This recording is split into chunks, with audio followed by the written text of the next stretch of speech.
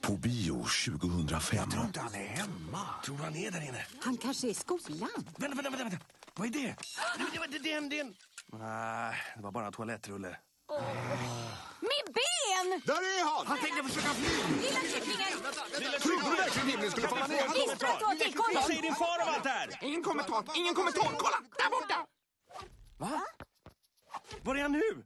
Där är han! Ta honom! Kom igen! Ge efter honom! Ja, men ta honom! Lilla kycklingen, dina handlingar ledde till utbredd panik som du fick ta skulden för och fick skämmas inför hela stan, din pappa och alla du känner och älskar. Var det en frågare där? Uh, nej, jag ville bara säga det. Men då är det tur! Nu räcker det! En sista fråga. Tror du att du någonsin kommer över det här? Ja, ja, helt klart. För jag vill tro på nya chanser. Och jag kommer igen som en fågel Fenix och snart ska det här vara glömt. Det vore värre om någon gjorde film utav det. Disney presenterar Lilla Kycklingen. Det var bara ett misstag gott folk. Snälla, snälla jag ber er ju kläm det nu. På bio 2005. På bio? Kassettboken var illa nog.